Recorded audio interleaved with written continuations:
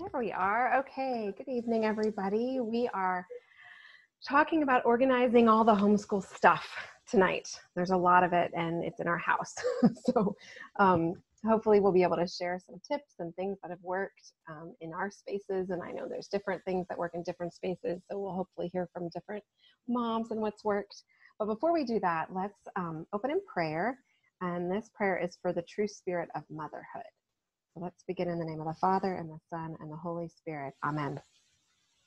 Mary, my mother, join me now in a mother's prayer that through the special graces of motherhood, our little children may instruct us in the ways of God, that their innocent eyes may speak to us of the spotless holiness of Jesus, that their open smiles may continually remind us of the great love God has for his creatures, that their helplessness may teach us the unbounded power of God and that their first feeble efforts to speak may tell us of God's wisdom.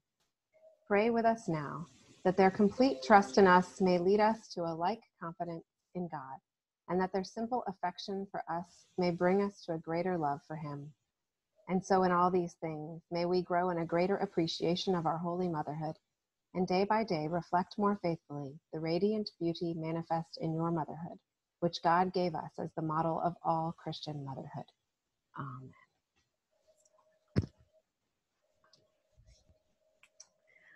Awesome. So we need all the help we can get, and Our Lady is a great place to go for that. We'd like to turn to her and ask her to. I, gen, I generally, my prayer to her is just please fill in where I can't and where I mess up because you're the perfect mother and I'm not. Um, but homeschooling stuff. So I will just share a little bit, and like I said um, in my introduction before we started, that I will try to temper myself and not get too carried away. But um, I love organizing, and I love organizing all the stuff. It's one thing I'm relatively good at, but um, there's lots of things I'm not good at. So uh, the first thing we were going to talk about a little bit is like where the stuff is, and I think that's important to consider. One of the things that where we've homeschooled. We've homeschooled in four different, five different houses. I said four, five different houses. And I found that more important than where we do the homeschool work is where I keep the homeschool stuff. It all has to be in a space, or I lose it, or get distracted, or waste time running from place to place. Um, so, a few homes we've been able to have a homeschool room that's dedicated where everything is. Um, a few homes it's been a few homeschool bookshelves or a closet that was where I put all the stuff. So I always recommend finding a kind of one place to try to keep most of that stuff that's easily accessible, of course, but that it can all kind of be there. Otherwise, you're running, you know, the art supplies are over there, and the pencils are over there, and the books are over there. Um, right now, we have, so my kids are uh, finishing up 11th grade, 9th grade, third grade, and first grade so what's happened in my home as we my kids have gotten older is that we do still have a homeschool space but only the kids that need to be with me all the time are in that homeschool space. So that's my first grader and my third grader. And the teenagers the high schoolers are have are at their desk in their room at this point for most of the day. Um, they will come out to do things like online classes or use the dvd player and things like that in the shared space. But most of the time they're off on their own um, but I still keep all the resources that I need in our homeschool room. Um, each of the teenagers has a crate, you know, one of those milk crates that they keep in their room that has all their school books in it. Um, for a while, my son, my freshman, was working downstairs because there's a comfier chair than at his desk, and he liked the recliner for school. And I was like, sure. And so he carried his crate down and just kept it there for a while. He's back in his room now. Um, and then I have one of those shelves that has like the cubes, you know, the cubbies. And so each of my kids um, has a cubby for their books that keeps what they need um, each day. And then I have designated shelf that's like all my teacher manuals that I need to access in a given day. Um, as far as school supplies, I've gone through the caddy on the table, I've gone through the drawered carts, I've gone through all things, but the thing that's worked best in our house is a pencil box for each kid. And they just have all their supplies in one place. And then if they can't find a pencil, it's because they didn't put it back in their box and they have to go hunt for one. Um, so that's worked for us as far as organizing the school supplies and the books that they need every day. Um, I do like things to be relatively portable. So, like my um, teenagers have that crate. We do a morning basket, which is like a circle time all together um, most mornings, and I have all of those books actually in a basket that I could theoretically it's a big basket with handles that I could carry somewhere else if I need to. For example, when your husband suddenly works from home and needs complete silence in the room next to where you usually do morning basket, you carry the basket upstairs to a bedroom and everybody joins in the kids' bedroom and does your time there. So um, that has been helpful in a pinch is to find some portable things that I can move around. Um, but we do clean up our school area every day. I require the kids to put back their own things because they're old enough to do that now. And I make sure that I put my manuals and things back um, where they go. I actually also have crates behind my desk on the floor turned sideways. And that's where my some of my teacher manuals are because I grade at my desk. So I just grab the teacher manual and turn around and use it and put it right back. Again, I don't like walking around because that just wastes time and I get distracted. um, but there's a lot of books and we have a lot of shelves. I know Mimi said you just got new shelves and I need more shelves. Everybody needs more shelves. Um, and we have gone through lots of iterations of organizing our books. Um, currently, what's working is that the curriculum we're currently using is in our schoolroom with the manuals for that for that year. So I have everything we would need in that school year in our schoolroom. Anything that's curriculum that I have that a kid's not just going to pick up and use, not like a fun book, but just like manuals, are in my garage. And I have a shelf like all along one wall of the garage. Um, so I can get those out of the house because I don't need to see them. I'm not using them this year. Um, and then we have in the schoolroom, we have a history shelf, a religion shelf, a science and math shelf, so that the kids kind of know where to put back the nonfiction books. And our um, fiction books are kept downstairs. And my goal has always been to organize my books in a way that my kids could put them back properly at a young age. So the bottom shelf is the board books, then the paperback books, then the hardback books, and then the chapter books and the high school literature up top. So it's all, they don't have to figure out what goes on what shelf too much. It's just, oh, this is a paperback, it goes there. Um, and one of the board book shelves now is a reader shelf because I have a reader again. So we're shoving all those readers in there. Um, so that's how I've done it right now. There was a time when I had one of those apps. I forget which app I used, and I scanned all of our books, and it was glorious. And then we moved, and we purged a lot of books, and we gained a lot of books, and I didn't keep it up, and so I didn't spend the time to do it again. Um, does that mean that sometimes I purchase duplicate books? Yes, it happens all the time. Um, it's not like a ton of duplicate books, but there are. I have a stack of probably five or six books that I found in the past couple weeks as I'm cleaning up. That I'm like, oh, I have two copies of that. I don't need two copies of that. Um, so some people really like to have a system to keep track. Um, some of the books, like if there's a series that I know we like and I'm trying to accumulate, I will keep a list in my phone of what books I'm looking for um, especially if I'm looking for them used, like the Saint books for a while. It was, you know, I wanted to get all the Vision books and all the Windeatt books, and I had some. So I would put in my phone which ones I was looking for. So if I saw one at a sale or something, I knew to grab that. Or if there's a particular history book or things that I'm kind of keeping an eye out for, I might keep a list of that. Um, and then the papers um, are kind of an ongoing thing. Again, different times, different seasons. When my kids do their work for the day, um, and it's something that I need to grade or review. And usually it just means put a check mark if I need to see that they've done it. I have a turn in box on my desk that's one of those baskets. And they put papers and workbooks and anything that they're supposed to turn in on a daily basis. And I look at that every night and return it back to their crate or their cube. Um, if it, they're done with it and it's something I took a grade and I recorded it or I didn't grade it because they're younger, I don't do grades till high school, um, then I have a big under the bed box for each school year that I just throw everything in. And then at the end of the year, I'm supposed to sit down and sift through that and take out most of it and get rid of it and keep the rest of it. And I said supposed to because I have three boxes right now from three different years that I probably need to sit down and take care of. Um, but that helps because I like taking all the wonderful drawings that they give me and saying, I'm going to put this in the box. And then I don't, I'm not throwing it away, but I'm just putting it in the box to save. And then at the end of the year, one night when they're not around, I can watch a movie and sort through that. That's how it's worked in the past. Um,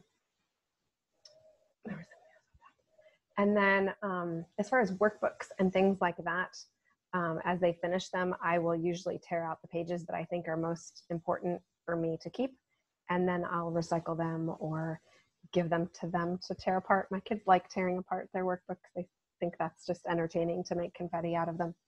Um, but I will tear out like the test pages or some samples of their writing or things so that I can kind of have a record for myself. Now, all of that said, I live in a state where no record keeping is required of me. Um, so I don't have to keep anything, but I do like to keep a little bit from each year, um, both for my own just being able to see, look, we did this and they they did a good job. And sometimes I need to look back and say, oh, did they finish that? I don't remember. Um, but also because always that just in case, right? So if someone were to come knock on my door and say she's doing a bad job of homeschooling her kids, I could say, oh, come on, look, I ha- I've done all this and I have these past several years of things. So everybody has to kind of figure out their zone on that. Um, there's lots of ideas, by the way, on keeping work and preserving work or having the year, like looking back at work. Actually, just wrote an article on that that's going to go up in the next week or two, but it's with the editor, so I don't know when it's coming out. But you know, people are scanning them or taking pictures of them, making photo books. You can do some fun things to preserve your kids' work and still get rid of the stuff because it is overwhelming when you have four kids and they're doing all their school at home and you have all that stuff. So I do recommend finding some way to purge periodically. So that's kind of the main part of my organizing the stuff. I'll let a few of you share what your thoughts are in that, and then we can do Q and A.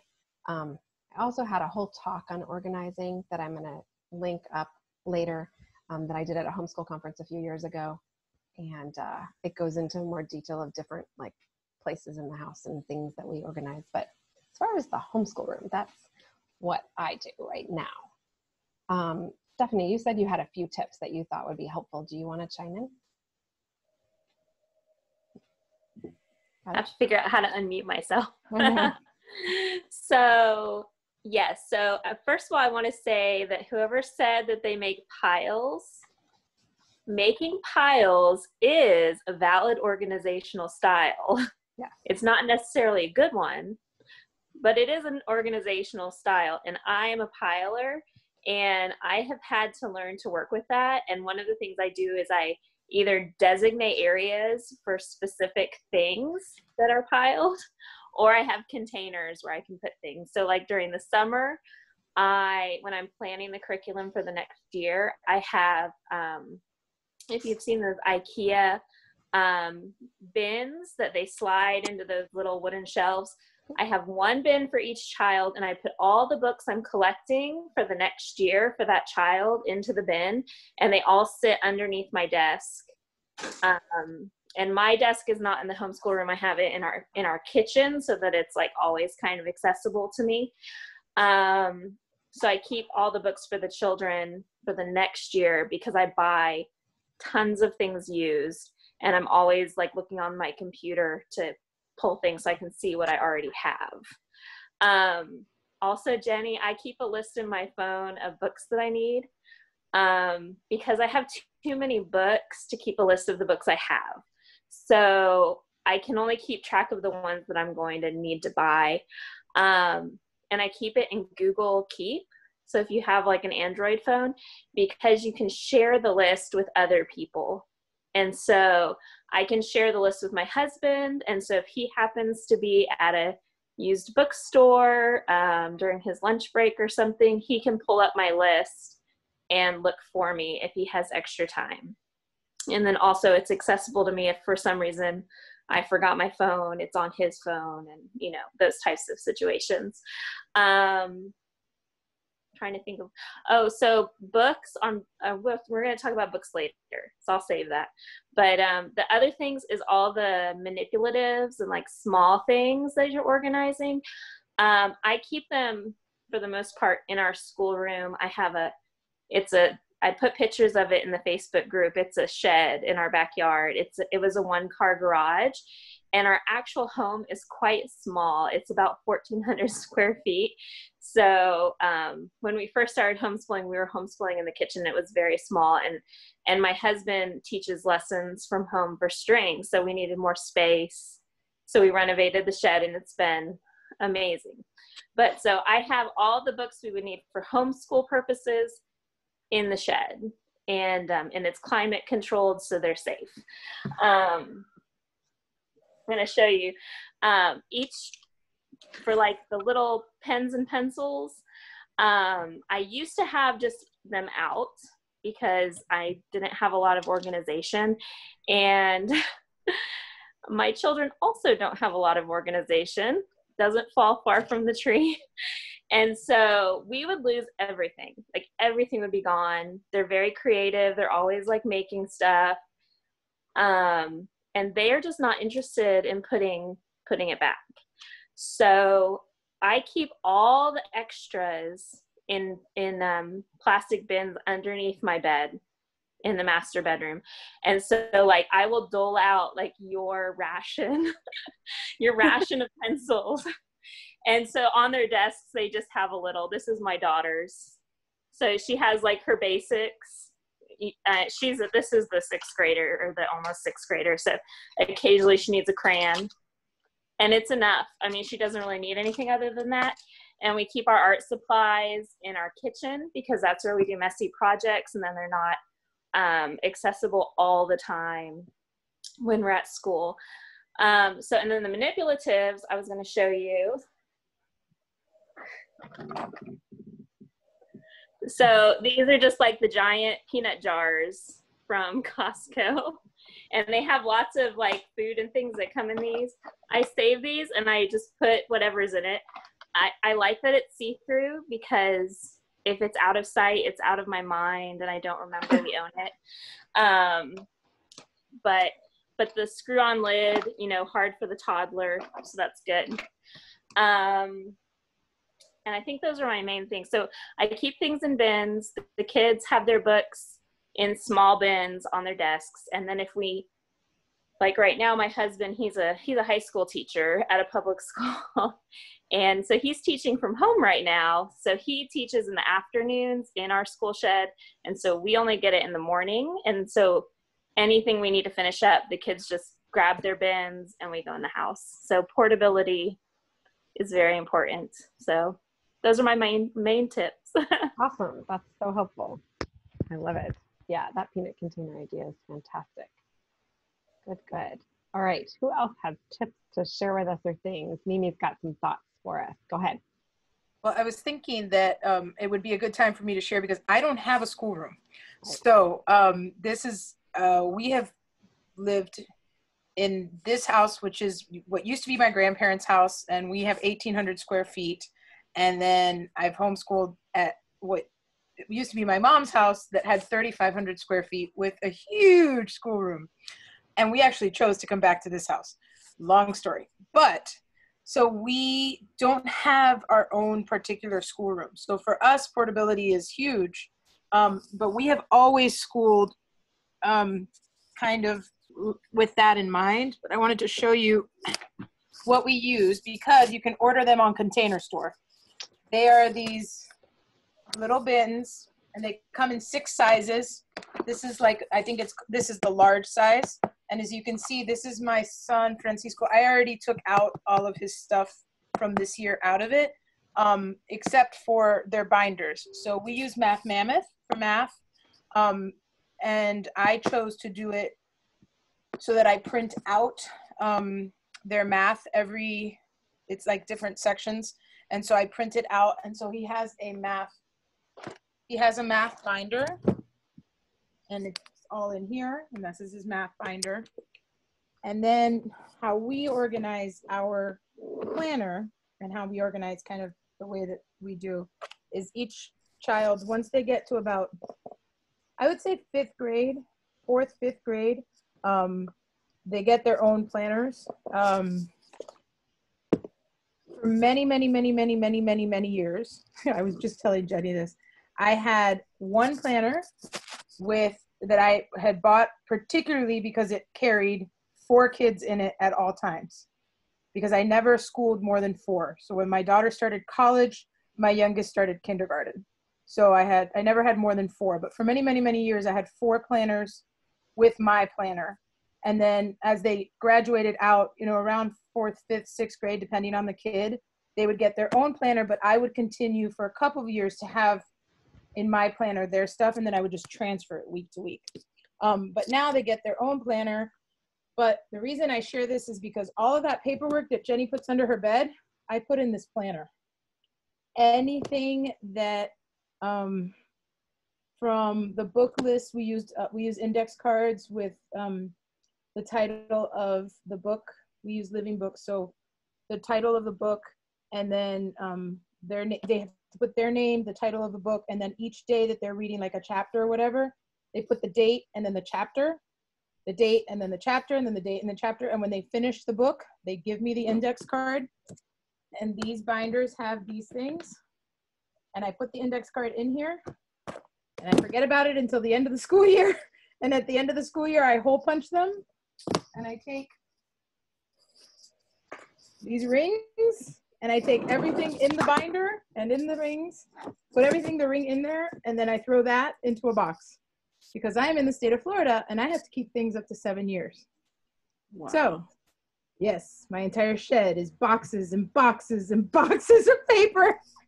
when my daughter graduated from high school, we had a bonfire. I was like, woo, transcripts, we're done. Um, so I have to keep a lot of paper. But um, this is the easiest way that um, that I can keep things that I don't have to constantly be um, going from one kid to another. So they know that, that it needs to go in here, but it's funny because it's completely empty. So my, this is my rising ninth grader. He keeps, we keep a lot of these, um, the ones that have pockets.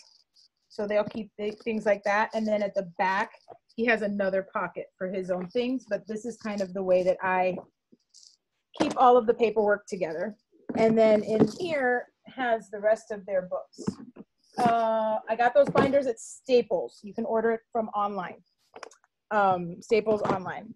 And these are the, I think they're called the everyday binders. Um, just make sure, because they do have uh, particular ones, just make sure that's the one with the pocket in the front. So that helps me big time when it comes to organization. Um, I have, we do have, even though I don't have a particular schoolroom, I do have an extra room that's like a, I don't even know how to explain it. It's like a very large walk-in closet. And that very large walk-in closet is half mine and half my husband's. My husband is a law enforcement officer, so he has his stuff on half of it, and the other half is just bookshelves and bookshelves and bookshelves, um, because we do a living books curriculum, so I have a lot of bookshelves. And in there is kept everything that I am either not using for the year or all of our like trade books, like literature, that type of thing that I'm not using for the year, things that the kids could go and look at. It also has a lot of my um, like drawing art, things that the kids can get into book wise, but that I don't need. Um, it also has um, a lot of the books that they would again, not necessarily used this year. Then I have one large, very tall bookshelf in my main living room, and that is the stuff that is the current stuff. So every child has two of those bins. One of them is like extra stuff that they can put in if it's a living book that they're reading or things like that. The other one has any workbooks that they're doing. So, like my rising second grader and rising seventh grader both have spelling so they have like a spelling workbook. And um, they have their written um, narrations or i do a majority of what i do for oral narrations i th- there is no paper for it. I videotape everything. I videotape everything. I have everything on google drive. It's videotaped. I straight it straight to the google drive. And it's there's a folder in my google drive that says narrations by by kids names. Um, and so I just keep it that way. That really does help if you, if, especially if you have like really dramatic kids that like to whatever. that's a great way to like. You don't have to keep every single piece of paper. It's great. Um, so because I don't have a schoolroom, I also don't have a desk for myself. So I keep two more of those bins that are my own personal things. And so I have a personal binder. This is mom's binder. This is mom's planner. Now, I personally need things written out. Um, even though I can do things on the computer, my planning, especially when I start to plan for the next year for my kids, needs to be written out. And I am not naturally a very organized person, so having a binder is a good thing. um, and so in here, I just I just do. I literally just did this this year, this this week. Um, I have my months of the year, and then for what I'm going to do next year. So history, like just plain old paper, and then literally this is what Ana Maria, my oldest, that's going to be a senior. I just sit down and write. Okay, these are the classes. Oh, this is Kiko's, my ninth grader. What what are the classes he's going to take next year? What you know? Where is he going to take them? Is he going to do it from Homeschool Connections, or is he going to do them at home, or what curriculum is he going to do? Is he going to do teaching textbooks? Is he going to do whatever? Math Mammoth. I write it all down, and then um, from there, I usually have, but I don't have my little kids in here. I usually have a list of like the, the books that I'm going to need to like what what Stephanie was saying, the books that I'm going to need to either purchase or I'm going to go shopping in my shelves. So yeah. once I get the books from my shelves for next year, or what I know for the next year, it's going out of that room and into the other room. Um, that goes along with Morning Basket as well. I have a rolling cart that um, is where all of my Morning Basket books live. The entire year's Morning Basket books live there. So the second and the third shelf are just the books that I'm going to eventually get to. So it, that happens a lot with, we read a lot um, of history saint books along with the year. So for example, we just studied American history. I'll put all the American history saint books down at the bottom and then as we read them, I'll just move them to the top. Um, I also keep on the top there like draw right now or puzzles or anything they're going to be doing while we're doing it, but it's a rolling cart, um, which most times I'm just in my front room. Um, but for the most part, it's in the front room, but I want it to be mobile. So if I want to do it in the one room or the living room or I, it's it's hard for me to put it on the other side of the room and then try to pull again from that. Um, I also keep things like American history or whatever book I'm doing for Morning Basket. Um, and then that just comes with me. My teacher's manuals are also in that book that I'm using currently on that shelf. Everything else gets kept uh, away. Um, I was, Jenny, you said something and I was going to say something because I do it very differently than you do it. And now I can't remember what it was. But um, I, I think as, as we've developed, um, my children are very creative, as Stephanie was saying. And if I don't tell them where to put stuff, um, it, we disappear, books disappear, and that is my, oh, it's such a pet peeve of mine. All of a sudden, you can't find the spelling book. So that's why we do the bins. Oh, I don't remember what it was. Um, we do not, we don't have any individual anything in this house anymore. For many years, we did pencil boxes and we did cups and cubbies and caddies and oh, everything. Um, and what I realized was um, it was more frustrating to me. And then I had a couple of kids who took very big ownership. That is my yellow pair of scissors, and no one else can touch it. And then I had the kid that was like, I don't know where my green scissors went. So I decided that that wasn't what we were going to do. So I have, if you have seen the bins, Nikki, are from Container Store. Yes. Um, if you have seen the, the little plastic sterilite drawers, mm-hmm. that, okay, those fit perfectly in those little cubbies that now like are super, like the cubby shelves, the IKEA mm-hmm. shelves, all that stuff. They fit really well and they have three bins. So now I have everything in those. So one is pencils, one is expo markers, one is Sharpies, one is tape, one is staplers, one is um, so if you decide to that you don't want to do the you know everybody gets their own perfect thing Mm-hmm. That is one way to do it. That's also an excellent way of cleaning up because when you say it's time to clean up, no one can say they don't know where things go. Right. So I did decide that that was the way that we were going to do it. Um, I also have, um, I have one brown set of drawers that no one is allowed to touch without asking mom, even the 17 year old.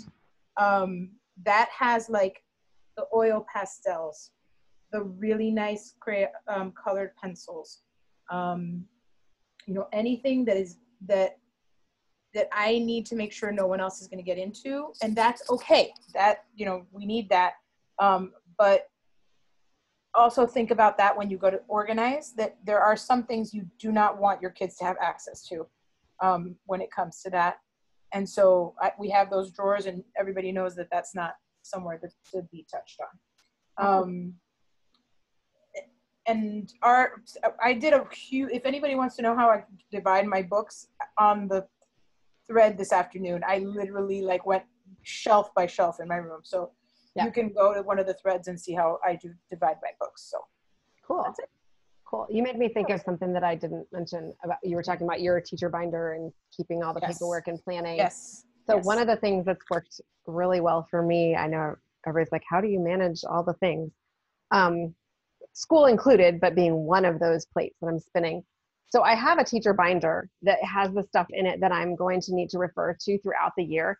But when I'm in my planning process or I'm just thinking about things to do, I use spiral notebooks um, to just jot down all the stuff that's ideas that I need to look up, I need to purchase, I need just like total. Um, and so I have different colored spi- spiral notebooks for all the different projects in my life. So like I'm a president of a nonprofit, so I have a green spiral for that. And then I have a purple spiral for Heart of a Mother. And then I have a blue spiral that's for household, and I have a yellow one for school stuff.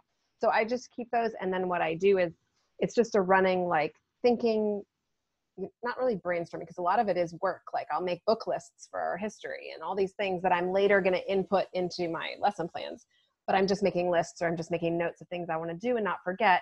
And then as I do them and I'm cross them off, once an entire page, you know, I've done all the things or relocated that information, I just exit out. And if the front and back are Xed, I can tear it out. So like I, it's kind of my system of keeping my brain on paper because I have to have it on paper. My husband and I have a joke that if it's not written down, it doesn't exist. Um, and we'll tell our kids, you've got to write me a note, you've got to send me an email or text or something because I will not, you know, it's just, it's in one out the other. So that helps keep me ordered.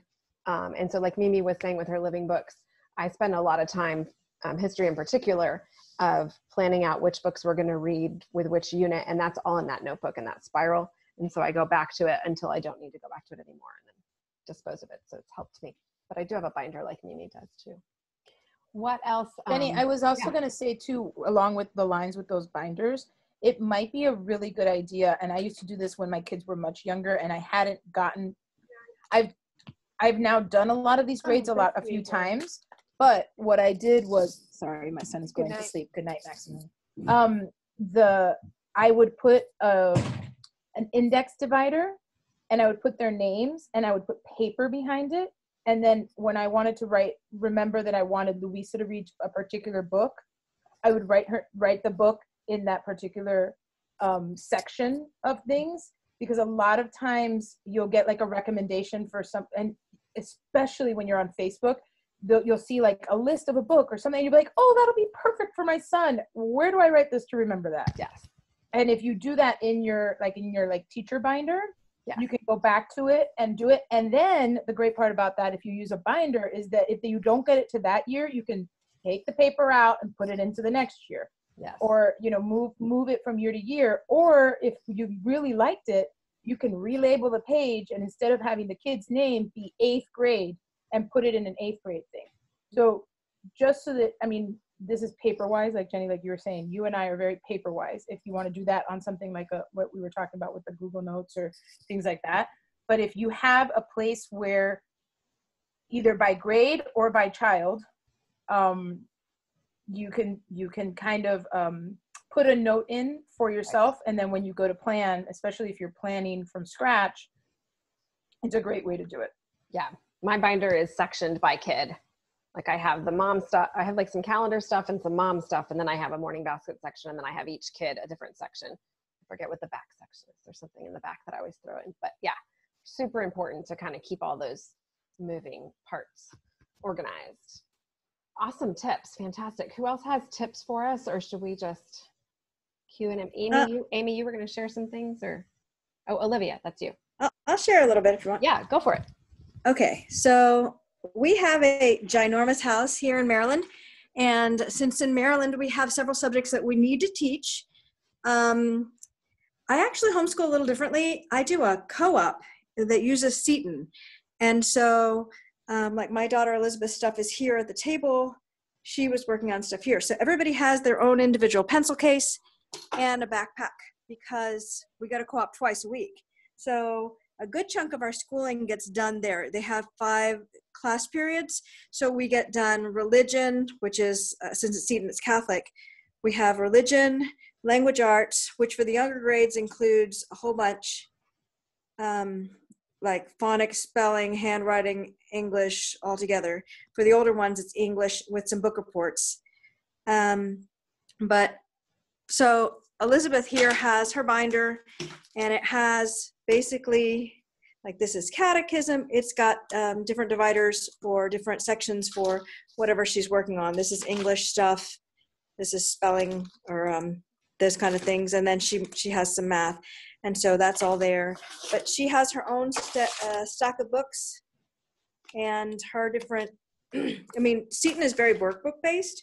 And so really um, i only teach on my own a few weeks at the beginning normally other than this virus. Um, and then we're twice a week out of the house. And so basically on the days we're home we're doing homework. As they get older it's more. But for the little ones they don't have a lot. Yeah. Um, and so i started with some shelves here these are ikea um, ivar shelves which are very versatile and very you know cheap and easy very um, so on the the lower shelves, I have things for the little one. She's two and a half, so I have some puzzles. There's some letter stuff. Um, I have a globe.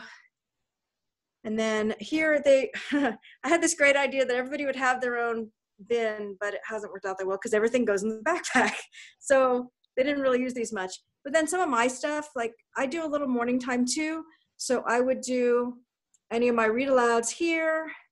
Um, stepping back, we have these great Ivar IKEA desks that are um, they're wider than the shelves, but they're great because they're adjustable for height. So each kid has their desk, and as they grow, we just raise up the shelf, and that's been really really helpful for us. Although one of them got broken, my husband's got that on the list to fix.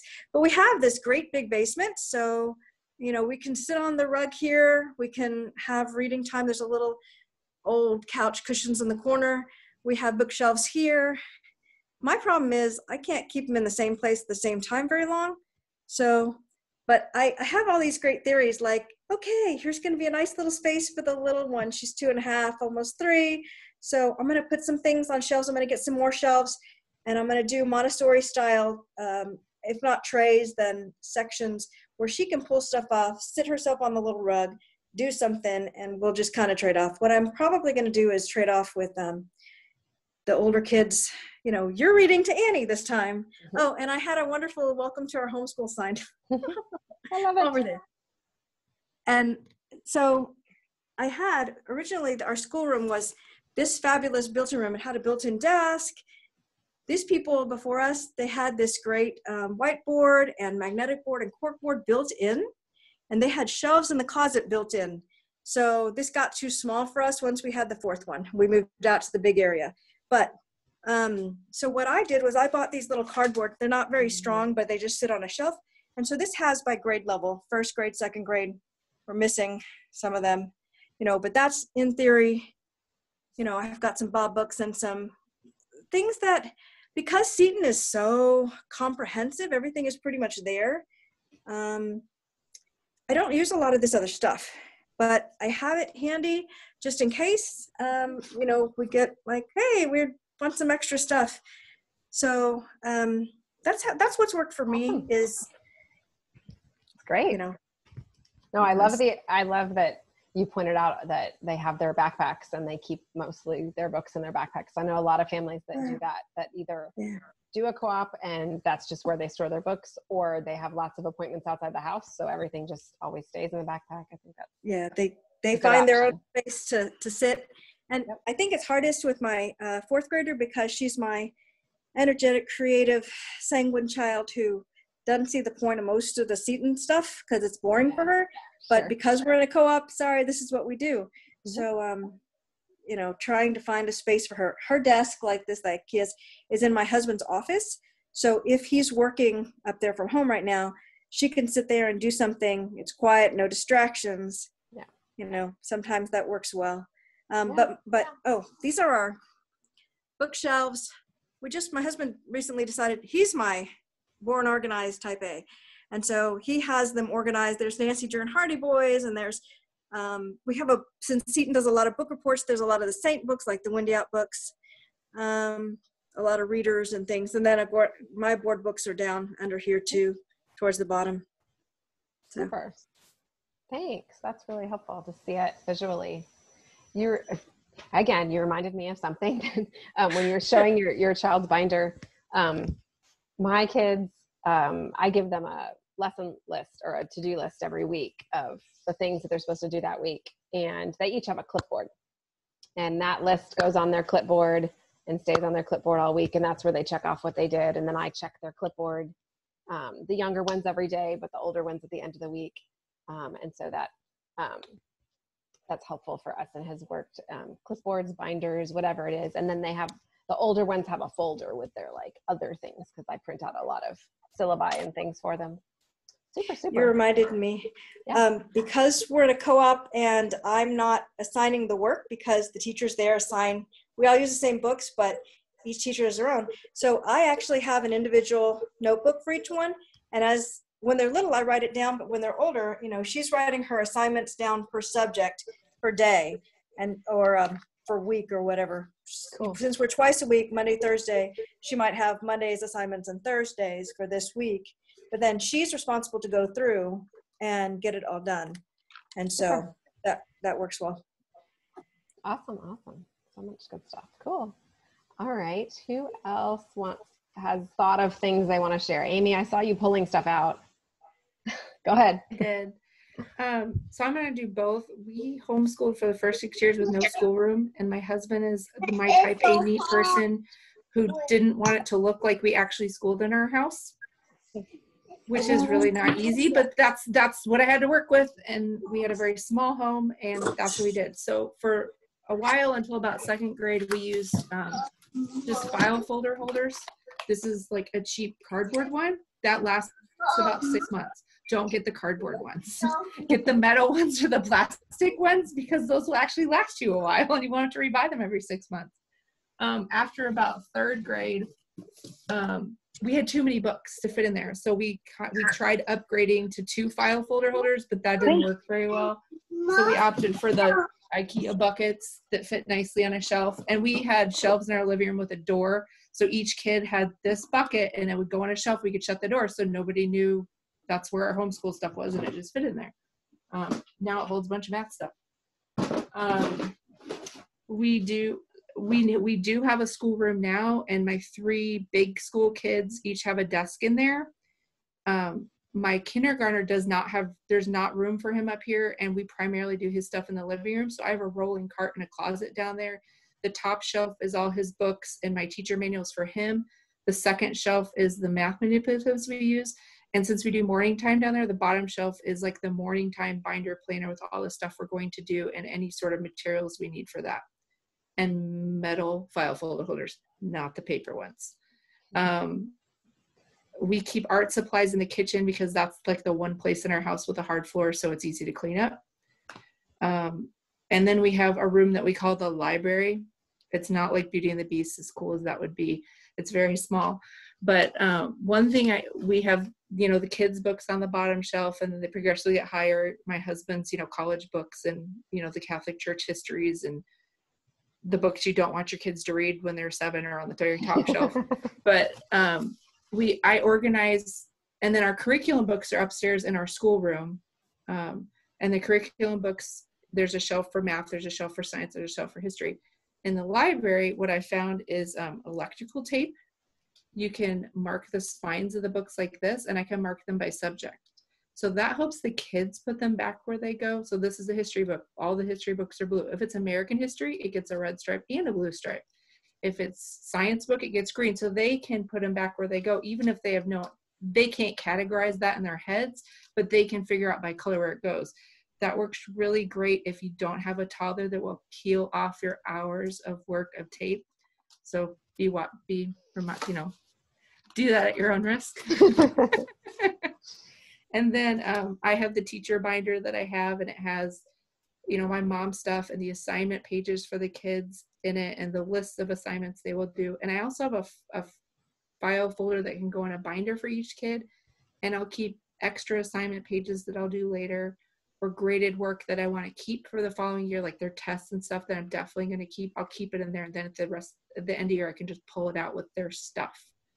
The kids each have a folder. We have done various iterations. We have done binders, that was too bulky. We have done clipboards, which was great when we were on the go a lot, but it got really full with their papers because they didn't know what to do with them after I handed them back. So this year we tried folders, and the front of the folder is the stuff for me to grade, and the back of the folder is the stuff I've already graded and they're supposed to put away, which basically means I have to remind them five times because they don't know to do that. But we're working on it. And then in the middle part, because it's in one of those Brad folders, um, I give them a list, we call them ice cream books. And it's a list of books that are extra that I would like them to read. And then once they read six or seven of them, we get to go get ice cream because one of the places down here gives you ice cream after you read six books. And then there's an extra page behind that called a reading log. So they can read whatever they want. They don't have to read the ice cream books, but they don't get ice cream unless they read the ones I want. And it's kind of a way for me to direct their reading and also make it enjoyable. They can pick the ones they want to read, but there's an extra incentive to read the ones that I want them to read and make sure they get that extra reading that I want them to do. And then their assignment page would go in there for the week too. And then at week's end, they give me their assignment page back and I make um, a new one for them for the following week. For supplies, we have been doing the caddy with pencils and stapler and stuff for forever. The picnic caddies that are that are at Target right now in the summer section were great. However, like most things that are community property, nobody takes responsibility for them. So I'm thinking of moving away from that next year to you each get your own pencil bag and I will ration the supplies as necessary. Um, and we'll see how that goes. there's no perfect solution on that. No, there's not. awesome. Super. That's awesome. That's really helpful. Good stuff. Very good practical stuff. Okay, I know Liliana said she had some hacks for us, so I want to make sure she gets to share before we head to Q and A's. What tips work really well for you guys? Um, let's see. I don't know if it's a hack, but um, I kind of use this a little backwards than I guess the more um, experienced homeschoolers. I'm not very organized, so we have piles until they get filed. But each unit or kind of represents each week and then so they're in a crate or whatever and then each so on the outside not in the manila folder i have like the planning part of that because all our stuff is online so i print it out. And then you have theirs got put in a, a portfolio for the first unit just to show our state interviewer. So each kid has a color. And each file folder is a unit or a week. And i guess if you wanted to use this in the way that you're putting their worksheets and tear out workbooks and put their worksheets in each individual one so the child can go in and i didn't put their names on it because i'm the one giving them their work anyway because they're still little. Um, maybe next year i'll have them with their they'll know their color or they know like you know, with their name to go in and pull out their work. Um, we might do that next year. Um, but I mean, that's pretty much it for this as far as like just filing the work. I love it. Very cool. Thank you for sharing that. It's great to see how different people kind of put this stuff in, you know, as long as you have it organized, many different organization systems work, but that's definitely key. Super. So, um, doing okay on time. What, um, let's you know, if you guys have questions or things that you thought of that works for you that you want to um, jump on, just unmute yourself, ask a question, or share something with us, and we'll. Um, I wanted to share one more thing that my kids love. Um, generally, they, with their pencil bag, they have their own like pencils and scissors, but then the crayons and markers are community. And actually, markers are kept very far away because of my two year old. But one thing that they love because I'm cheap and I don't buy a lot of school supplies every year, I reuse a lot of what we have. They might get new crayons, um, usually courtesy of their grandmother. Um, but like I reuse binders and scissors and uh, any pencils that are still usable. Um, so I have school shopping day, and and I take their books that are for them because they each have their own grade level with their own books, and I set up a store upstairs, and so they get to get their backpack and they get to get it's their own backpack because they each have their own, but they get to pick out their pencil case, which is you know, and they get to to pick out some of the things they get to pick out, but some of it is just, oh, I'm getting my books for the year. So right before school starts, I always have a school shopping day, and they just love that. They just think that's so cool. Even the biggest ones to go shopping. We get to have school shopping day. Are we going to have school shopping day this year, Mom? Yes. So they love that. Nice. That makes it fun. That's really cool. Jenny, I also thought of something liturgically that I have, and I'm sorry, I had to move out of my bedroom and to get to what I want to talk about, I have to go through my bedroom, and my husband is going to bed, so I cannot show you. But um, for liturgical, I followed a blog many, many, many, many moons ago, and she gave me this idea, and it has worked brilliantly. Is that I got 12 file folders. I just saw Liliana's, and I thought of this, and this worked out really well. And I put on the on the front of the file folder, I stapled the actual month and then i physically wrote it in. You don't have to do that because there's plenty of file of liturgical months now that you could go out and find links and stuff. But then um, i had 12 those 12 folders and i put them in one of those um, plastic things that you saw that i use. And anytime i found like a coloring page or um, a prayer or something like that that went with a particular saint um, I would put it in the month of the saint, and then I had file folders for Advent, Christmas, Easter, Lent, um, you know, all of that stuff. And because what happens is a lot of times that will come up, and so you'll have a resource for Lent that comes up in, you know, in at Christmas. And so um, having file folders like that takes the remembering out of it because then when you get to Lent, you just have the file folder and you open it up and you're like, oh, look at that cool game. It also works really well from year to year because um, if you don't have, and if you don't get to it one year, you know you can get to it the next year.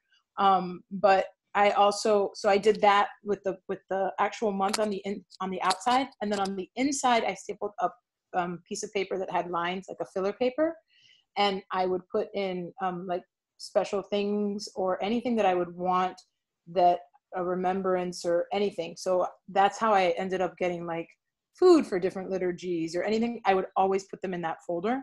And then the seasons having their own ones was a great thing for us to use. So from year to year, it was a really nice organizational tip. Um, I would print things out instead of having to remember that they were on a thing. And sometimes I would literally print out like a website thing and then I would write on it, you know, it's on this website, blah, blah, blah, blah, blah and I would go in and, and be able to do that because most of it is actual paper that you're going to have your kids do. We do it a lot during Morning Basket, but that way it was already divided um, so that I, you know, Our Lady of Fatima wouldn't sneak up on me. And it's the 13th of May every year. So like, you know, put it in the May folder. Um, but like the other days that we're moving, things like Pentecost and things like that, I could put into a seasonal folder and then it wouldn't sneak up on me every year. Um, because we use it a lot for morning basket. Um, it, I needed it to be just there. And then when I had time, which was usually 99% of the time in the summer when I wasn't thinking about it, um, I would do that. The other big tip that my daughter just told me, she's like, Did you share your accordion? And I was like, Oh, I have a kindergarten alphabet accordion. So what it is is an accord the accordions that you buy like at Staples, and it's got the alphabet a, B, C, D, you know, whatever. It's a big accordion. Um, and when my kids are in kindergarten, they always, every kindergartner writes a kindergarten alphabet book. Now you can do it for preschool, you can do it for first grade, whatever your, wherever your kid is in. Um, but a lot of times when you're planning for kindergarten or planning for whatever, you're going to run into things that are by letter. This is the best way to keep things organized by letter. Um, I don't, we don't start with A in our family. Um, we start with the letters. we start with the letters that that write their names. So Luisa started with L, then U, then I, then S, then A. Then we started with P and then A. so we would go that way. Ignacio, for the longest time, thought I started the alphabet. He was convinced that I started the alphabet. And then he got even more confused because Ignacio, we call him Nacho. And he's like, but my name starts with an I. Why am I just studying N? It was really fun. But the accordion, back to the organizational thing, the accordion you know things like if you have if you go to do a season and you do acorn and you really don't want to do it during the season but you want to do it with a especially for those of you that have really little or you're just starting with littles it is a great thing for the older kids to be like oh go put it in the accordion for b or c or whatever and then you have the accordion for forever it also really helps if you use like a workbook and you want to have a workbook that has to have copies or anything like that, you can copy and put it straight into the accordion, um, especially if you're preparing for kindergarten in the fall. Do it in the summer, and then in the fall, when A comes around, you have everything in the accordion and you just take it out. Um, so the alphabet accordion for us was a huge game changer. Um, and then the other thing that I thought of is work boxes. And if you want to look into work boxes, if you have littles that you need entertained, if you have any special needs children that need to have things to do in between the written or the sitting or whatever, and if you've never heard about work boxes, look up work boxes, Google it, look for it. Um, we used it for many years when I had a bunch of littles, when I had five under, when I had four under seven, and I needed things to do. Um, and I'm gonna about to start again with my seven year old, he's going into second grade, and we're going to go back to work boxes um, because I think it, it really speaks to his strengths. Um, he wants to do things independently. And so he can choose. Work boxes have to do with, you know, doing things, um, doing particular tasks that are done by mom, you know, in order by mom, and they don't, sometimes they have to do be done in order, sometimes they can be done differently. It's not just a bunch of workbook pages. It is you know like games or whatever but look into work boxes because that's another organizational um, just tidbit that for some people especially if they have a, like a, a lot of littles all gathered around the same time um, would be something that could be very um, just advantageous to look into now and prepare over the summer to then start in the fall and yeah and the basic I mean, most workbox pe- people, I mean, not everybody, because anything will work, use one of those rolling carts that have the like 10 drawers, those little, like you can get them at Joann's and stuff. And they're like the little scrapbook paper drawers. And there's just a little drawer. Uh, and so you'd put a different activity or a different thing for the kids to do in each drawer so they know to go to their little work drawers and do their thing. Um, when I couldn't afford one of those and we did work boxes, I did a crate with um, f- hanging file folders and I would just stick the things in those. Um, and we did that for a few years as well. Um, Mimi, Nikki asks, where did you get that accordion file? Is it something that I was just, I have actually, it, it's, it's out here. I'm going to show it to you. Hold on one second. Um, I'm going to grab it. I, I got it in an office supply store um, I'm going to show you what it's like so that you understand. It's it's just alphabetized. Hold on one second. Yeah, I think I've seen some of those at office stores. Awesome, awesome. Um, While she's getting that, mm-hmm. quick tip: color code your stuff per kid. I I don't know if anybody said that yet, but like one kid is red, one kid is blue, one kid is green, one kid is purple it will just make your life easier and theirs because they can find their stuff. It's just yes. a simple, easy tip that makes it so much easier. And I'm like, that's an easy one. I should probably tell people that one. That's good. this no, is this good. is the accordion file. And and my this is my my seven year old is going into seventh grade, but we haven't put it away because my daughter spent her entire summer after her senior year putting together her brother's accordion file for kindergarten because she wouldn't be here when he was doing the kindergarten file. So she spent the whole summer putting it through. And when she came home, she's like, wait, he didn't do the caterpillar page. And I was like, really? Really, Lisa? So um, we just, I, I, um, I was very lucky. I had a, a dear friend, Christine, um, who put her her she had a special her last child is a special needs child and she had she had to go into school. Um, so she for her therapies and everything. So by the time that she had the last one finished with preschool and, and kindergarten she had she used to be a preschool teacher. She had all these resources all these workbooks all these everything and she was like, just use them. And I was, my, my husband's like, you're to have to copy them. And I'm like, no. So I literally just ripped, we just ripped pages and pages and pages and pages out and just filled the accordion completely. Mm. And then um, we, they, each, each of my children has a really cool kindergarten alphabet book that they chose their best work. There's one particular page that's like a, like a, a workbook that I've always used that has like A is for apple, whatever, and they fill it in, and then I laminate them and put that together, and then everything else goes in the trash. yeah, awesome. No, thank you for sharing that. Very cool. So, um, what Jenny? I have, I have like two more things that I thought of. Can you hear me? Yeah. Um, seeing everybody's binders. I have a binder, Woo-hoo.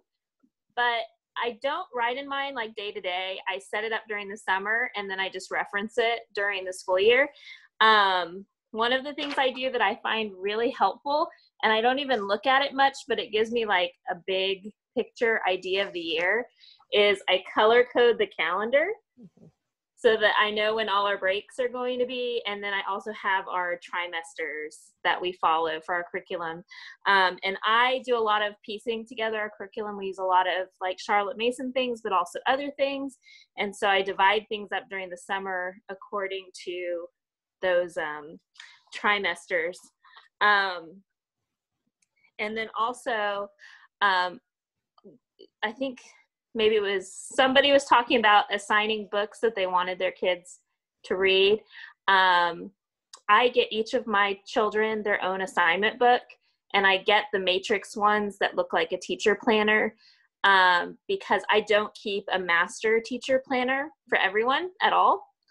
Um, during the summer, I make lists of their curriculum and then what order I want it to be completed in. And then at the beginning of each week, I fill out their that week of what's next. And I try to follow it to the point that we're going to finish on time. Mm-hmm. Um, and then I usually, so if we have roughly 180 days, I'll plan 165. And then if we need review days or sick days or everyone's going to explode days. Um, we can push things around as we need to but awesome.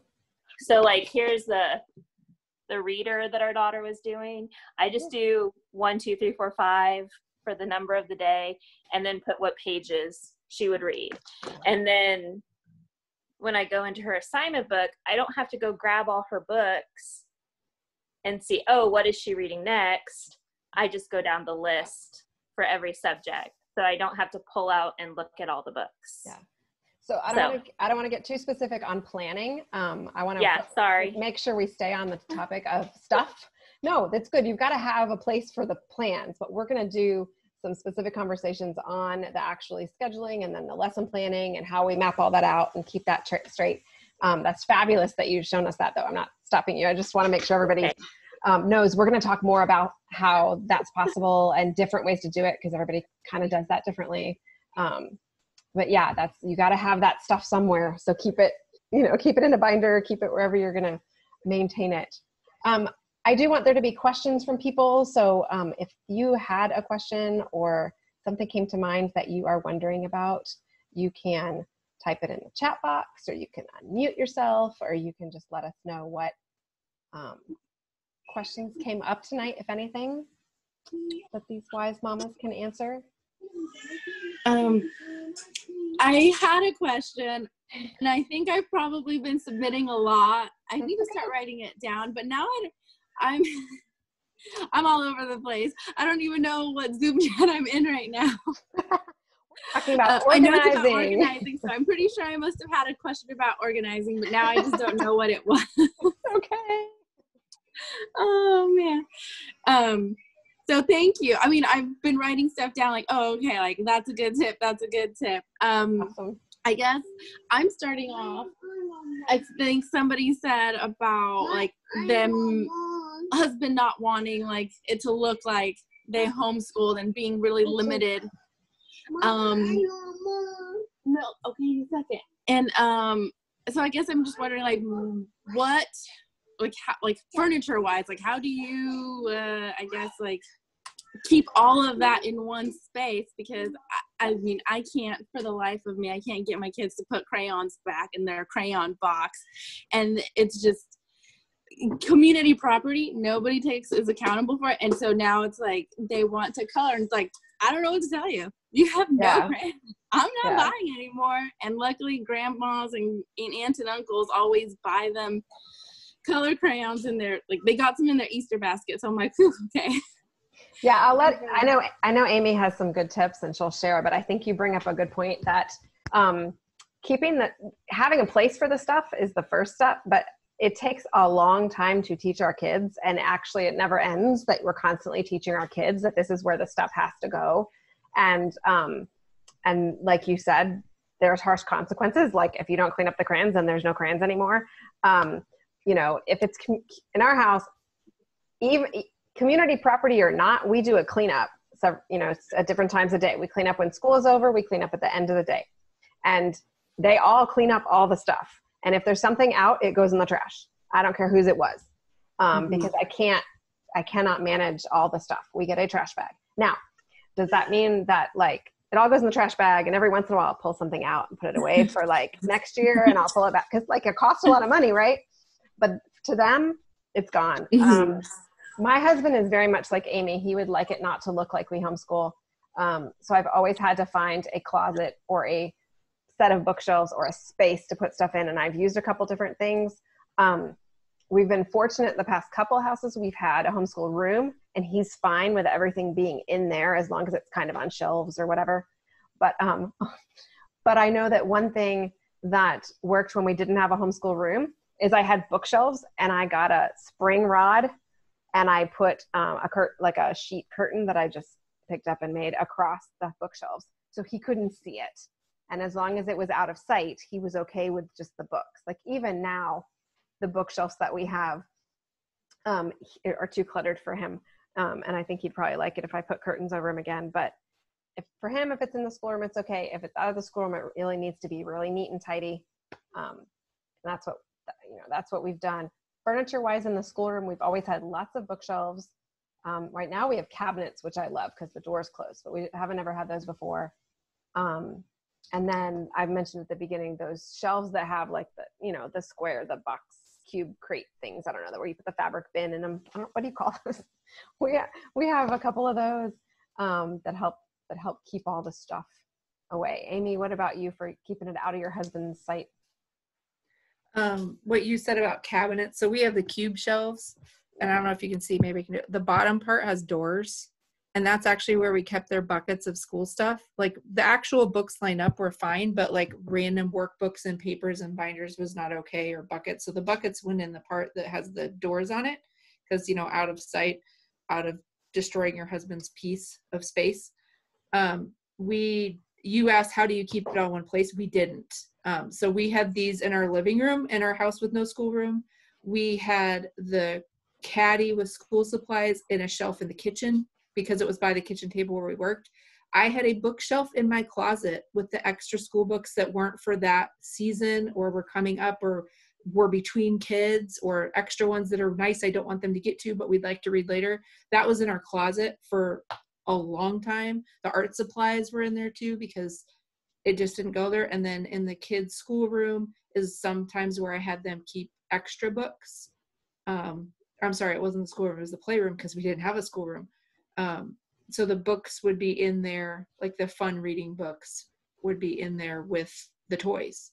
So we did not, it, it couldn't go all in one place. The nice, we do have a schoolroom now the big kids keep their school books in their desk. My curriculum books are organized by subject. Um, the cube shelves help a lot, I think, too, even though they're messy. Like just having the shape of the cube, I think, helps give the illusion of it being more organized than it might be. Um, and then the magazine folders can help make it look more organized too because you can flip them backwards and all you see is that blank white space and then it's still organized for you like these are the science workbooks or these are the extra math workbooks so that can help too just it's partly it is actually being organized and part of it is just making it look like you're organized and pretending really really hard and i wanted to say i wanted to say too um especially if you have a lot of littles and i don't know if you do but um a, a, big struggle that we had was that I wanted to put posters up, like maps and posters and things, and that wasn't going to happen in our house because we don't have a schoolroom. But what I did was I got three um, bulletin boards that were small. They were like um, like three feet by two feet, and I would cut things down to fit that. Like I would put two of those and pin things on, or I'd put one big map and pin things on. And then what I would do is that when I would use them, I would have them out. And when I was done, I would make sure that my bookshelves were a little bit off of the wall. And then I would slide the bulletin board right behind it.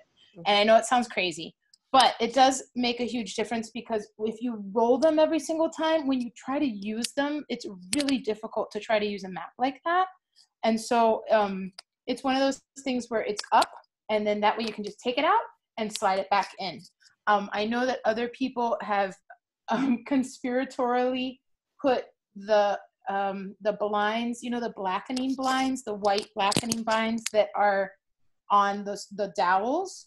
Um, if you take the blind off of the dowel and you take tape and you tape the map to it and you roll it under, you can put it underneath a, um, a valance, put it behind a valance on a window and then you can scroll it down and then you can scroll it back up.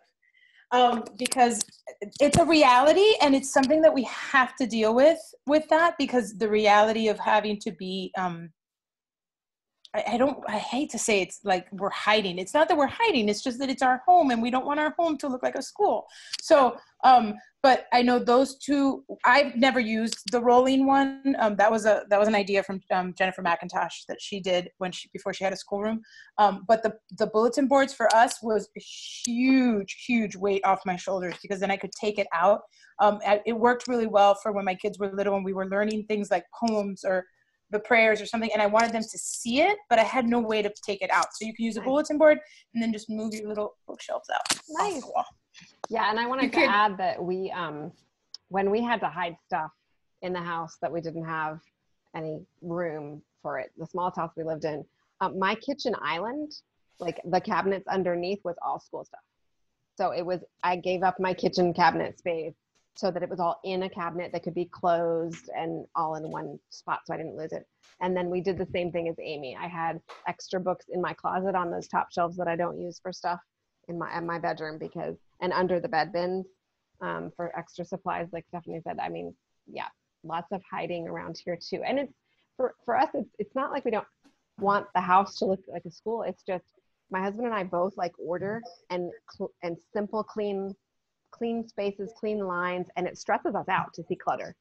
So it's important. Amy, you were going to add. Um, if you don't want to get a bulletin board, like a trifold poster board, can work to put posters on too, and they fit behind bookshelves or under desks really well. Another thing you can do, which is I totally did this last year, uh, they make shower curtains with world maps on them, so your kids can like tricky, sneaky learn geography while they're getting clean, and you don't have to hang up a world map in your house because it's in the bathroom. Mm-hmm. Have fun, have fun. So I was gonna say um, we do something a little crazy in our house. We have a hallway coat closet that we switched out the doorknob with a key locking doorknob. Mm-hmm. So we keep all of the like puzzles that we don't want to be dumped out everywhere, all of the art supplies that we don't want people to get in on a day to day basis, and all of that stuff in that coat closet. And we lock the door and we put away the key. and that way people have to actually ask and request, and then we know who took it and who's responsible to put it back. I So that. that Smart. has helped a lot for us. Smart, smart. Nikki, do you have a question? I do. um, so you have all the stuff at the end of the year um, for every kid.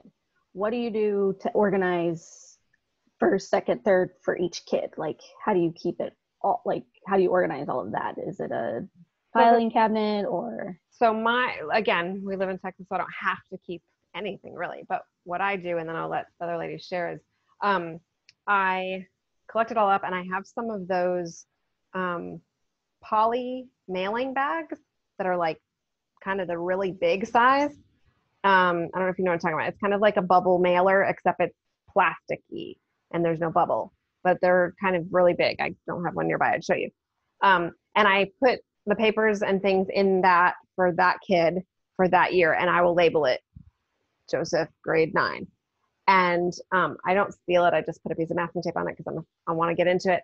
And then I have all of those in big, um, like the Rubbermaid storage bins that have a lid. I don't use a Rubbermaid brand, but whatever it is. And those are on the top shelf of my closet. So I can get like two kids, K through nine, in one bin because it has to fit in that poly thing. And I only let myself keep what will fit in one poly thing per kid per grade level. Now, growing up, my dad kept shirt boxes because he was, you know, go to Brooks Brothers or whatever. They used to do that. And he had shirt boxes. So they were like, you know, kind of the same thickness of what I would keep. And he had one for each grade level of my year, my life, or what year of my life. Um, which, while sounds excessive and weird for someone who went to regular school, um, was incredibly helpful when I majored in um, secondary education and had to um, do a cultural literacy um, historiography on an individual. I did it on myself because I had all of my papers and I could trace my own cultural literacy and I made a scrapbook. It was so cool. But anyway, that's what I do. What What do you ladies do? I do very much the similar. So again, we have to keep things for an insane amount of years. Um, but what I do is very similar to Jenny. Uh, I have um, again from Container Store. I'm a little obsessed. They have these zippered, large, like 11 by 18 zippered cases. Um, they are a little bit bigger than what would be in um, like a mailer or whatever. These are kind of big. Um, and I, when they're little, because I have to keep so many workbook type things when they're little, I do have a few of them for each child. But then by the time that they're big, um, I kind of do that. And I keep all of their work that I want to keep for the year. I take a USB drive, uh, the smallest one I can find, I put it into my computer. I make sure all their narrations, all their videos, all their written work, everything is put up onto the USB drive. Um, that's only going to work so much because it, they're only like 10 years or whatever. I, I don't need to keep that past 10 years. So, but I put all of that inside that. And then I too have a Rubbermaid. And then I take my planners, my particular things that have that, that is kept out. I have a cabinet that has all of my planners for the last 17 years. Um, and that is out so that I can see that but everything that is the kids is put into that. Um, and then I try to keep it so that I only have a couple of years in each box. I have banker boxes, um, the white ones from Office Depot. And so these things fit perfectly laying like this. Um, and again, I've never schooled more than four kids at a time. So I try to, I try to make it so that I can have two years in one box.